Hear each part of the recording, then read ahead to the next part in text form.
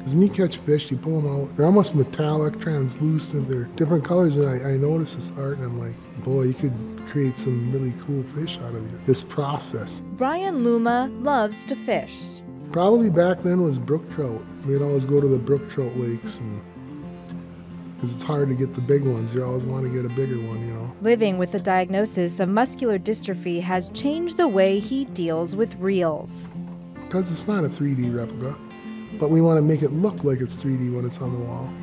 Which when you step back and people look at them, they're like, oh, neat. Then they walk up there and go, oh, it's flat. He started this after a trip to New Orleans, where he saw something similar, and now he's developed a proprietary way of making those scales look so sensational. And this is the black crappie. Brian then sends those designs to a metal laser cutter in Walker, Minnesota, who infuses the color onto the metal. So we're constantly, you know, trying to come up with new ideas on, you know, how to make them, you know, make them look more realistic and you know, look better, you know, improve, I guess. He can do custom orders and is considering helping preserve even more memories. I'm thinking about doing some more miniature ones to where your child's first fish, you know, maybe have on their the date, maybe the, the name of the lake, and a spot for their picture they're holding the fish up something in memory. It's become a way to focus on fish even after the MD has made things more challenging as the years have gone on. I was in the fourth grade as a genetic.